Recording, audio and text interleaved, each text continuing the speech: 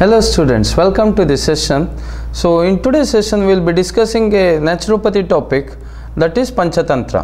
So before getting into the topic that is Panchatantra, we will see something related to the, the disease aspect. So if we see on, in general uh, in today's uh, scenario, so around we are seeing around uh, 5 to 10 percent of congenital related disease and remaining 10 to 20 percent of uh, disease are due to any trauma injury accident poisoning or so on. So a majority of the portion what we are seeing in the disease aspect is you know once it is congenital we can't do any we are helpless. And second thing if it is due to any poisoning or accidents trauma uh, or uh, any other uh, due to any other natural natural calamities so post uh, exposure to that uh, specific uh, incidents so certain diseases will take place.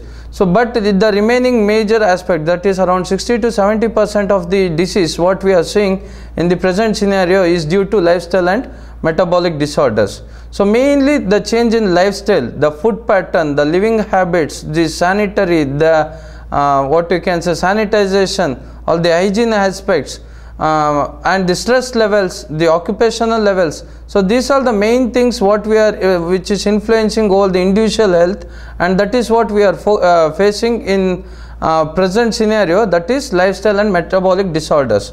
So around 60 to percent uh, 60 to 70 percent of the disease what we are seeing are due to lifestyle and metabolic disorders. So lifestyle and metabolic disorders or even you can along with that you can add up with occupational disorders where you can see it might be a dyslipidemia hypertension diabetes obesity migraine insomnia sinusitis whatsoever. But uh, the basic the root cause of uh, the this disease is due to the lifestyle and metabolic disorders.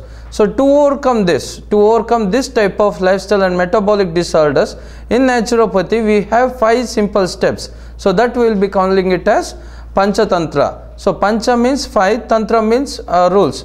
If we follow the five uh, simple rules in our day-to-day activities which can be followed very easily uh, without uh, any cost if we following this so what we are seeing around 60 to 70 percent of the disease uh, what uh, india is facing is due to lifestyle and metabolic disorders we can overcome with that disease so if we see the five basic principles and this sense the pancha tantras so first part will be the uh, two meals a day. So first uh, rule is or the first uh, aspect is two meals a day.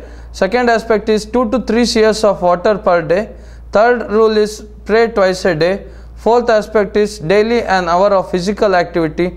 And the fifth aspect is fasting once in a week i repeat so the basic five principles are so the first principle is two meals a day second principle is 2 to 3 seers of water per day third uh, principle is pray at least once or twice a day the fourth uh, principle is daily an hour of physical activity and the fifth uh, principle is fasting once in a week. So if we see the introduction part of this panchatantra so mainly it is a set of rules. As i said it is pancha means 5 and tantra means rules. So it is a set of rules by which one can attain complete physical and mental health. It's not only about uh, the physical aspect even it has influence over the mental aspect uh, which uh, uh, individual can lead to the healthy life so this uh, if you follow these uh, five basic principles it has impact over your physical level as well as the mental level.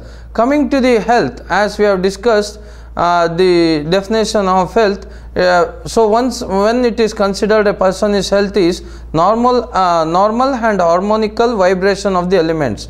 So what are the physical activities which will be taking place in our body?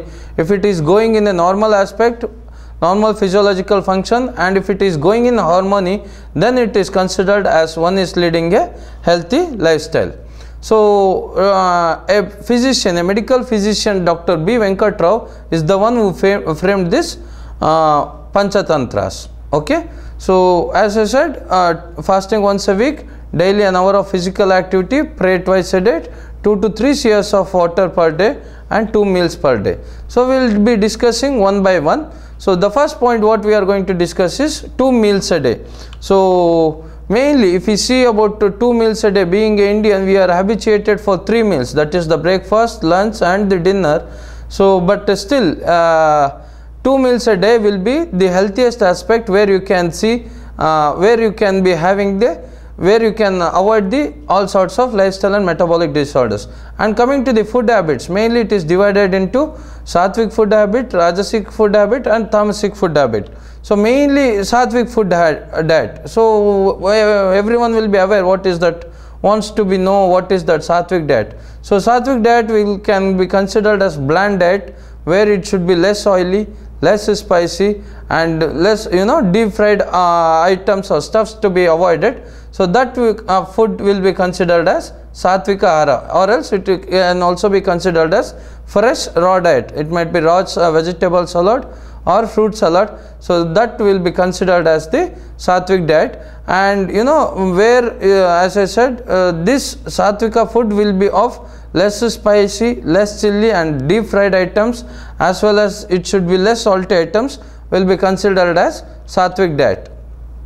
So coming to the uh, depending upon the two meals a day as i said before so it all depends upon certain factors where we have to uh, we have to regulate we have to monitor upon the age of the individual. So for the growing kids or to the geriatrics the old age people you can't recommend with two meals a day. Because nowadays in general scenario if you are seeing most of the uh, geriatric and the old age people are with one or the other medications.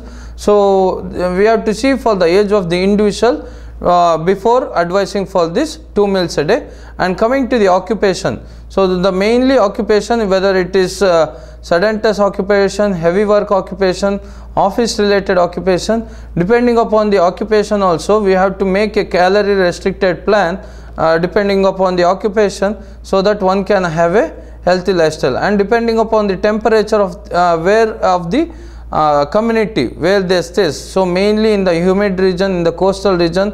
So it all depends upon the uh, temperature also and the physical work. So daily what amount of physical activities which they will be working uh, on that aspect also two meals a day uh, will be advisable. So mainly when what we'll say even though we are habituated for three meals a day so what we need to do morning breakfast. So what uh, what is uh, breakfast is nothing but you are going to break the fast. So around uh, evening 9 o'clock you will be having dinner by 9 pm again the next breakfast will be in the next day's morning 9 am so around 12 hours of gap will be there. So you are going to break the fast so when we are having a two meals a day we can plan such a way that you should be having early morning we need to avoid the less oily spicy deep fried and chili related stuffs in the early morning itself to avoid the harmful for our digestive system. And second thing uh, afternoon lunch. You can have a sufficient lunch uh, to the max. And coming to the dinner so mainly this plays a very important role because most of our uh, uh, community people what they will do as they are into the business or they are into the some profession they will be reaching their homes to the late night and they won't be having sufficient gap between their sleep as well as their uh, uh, food. So with that aspect we have to plan such a way that 2 to 3 hours of gap should be given between the food and sleep so that uh, with this aspect we can make two meals per day by seeing the age by seeing their occupation temperature as well as physical work so one aspect of the basic principle uh, of the Panchatantra I have explained. So in the next session we will be discussing regarding the next four principles. Thank you.